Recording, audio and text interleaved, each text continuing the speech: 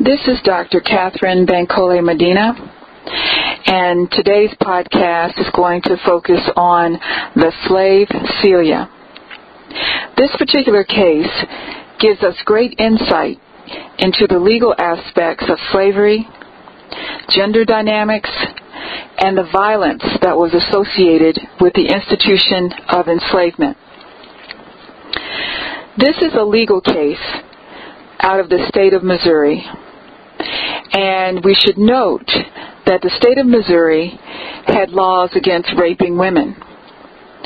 The state of Missouri also had laws that allowed an enslaved person to defend themselves, even if it meant that they had to take a life in order to do so. Now, the period of time that we're talking about here is 1855. Now, while these laws existed in Missouri, they did not assist the slave Celia. Celia was 14 years old when she was sold to a man by the name of Robert Newsom. Robert Newsom, in the in the course of transporting Celia to his plantation, raped her. After that, he raped her repeatedly.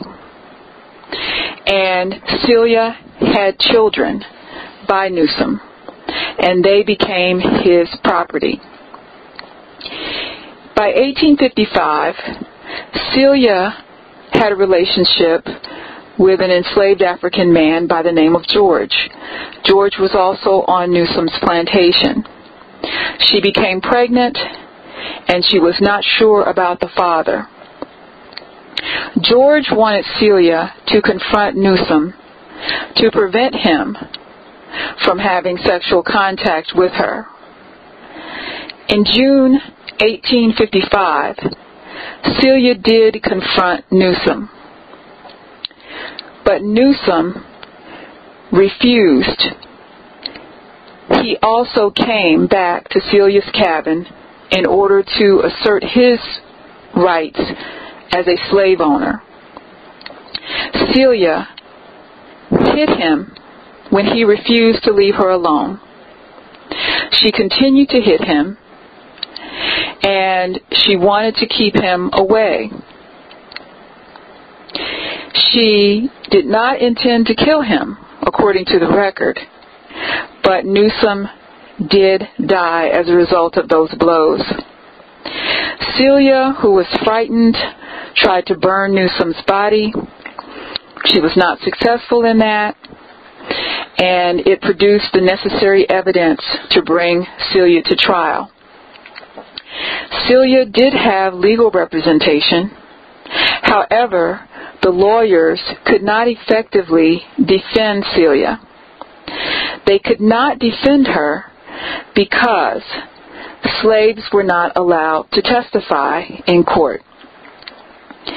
In addition, Celia was considered not considered to be a victim of rape because rape did not apply to the slave population.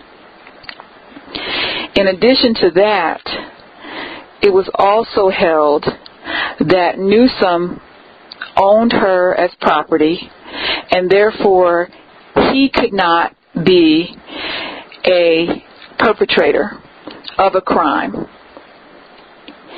Now, this brings us to a very important point that is often pointed out when we study the slaveocracy and the dynamics of slavery. And that is the laws only protected the slave owner. Only protected the slave owner. What this meant was that if a slave woman was raped, she was treated as if she was a piece of property that had been trespassed. And damages uh, would have to be paid to the slave owner as a result of that. Other aspects of this case include uh, the use of hearsay evidence, which was generally not used but was allowed in her trial. Also, the judge did not allow uh, Celia's testimony, uh, did not get the full discussion about the reasons why uh, she hit Newsom in the first place, and she was convicted of murder in October 1855, and she was sentenced to death by hanging. People were outraged by this. Um, it was a particular, particularly vexing case because there was an appeal to the Supreme Court, but the execution was still scheduled to take place. Some people tried to kidnap Celia before her execution date, and um, they were actu- actually able to do so, and they held her until after her execution date had passed. But that did not save Celia's life. They hung her in December of 1855 for the murder of her slave master, Robert Newsom.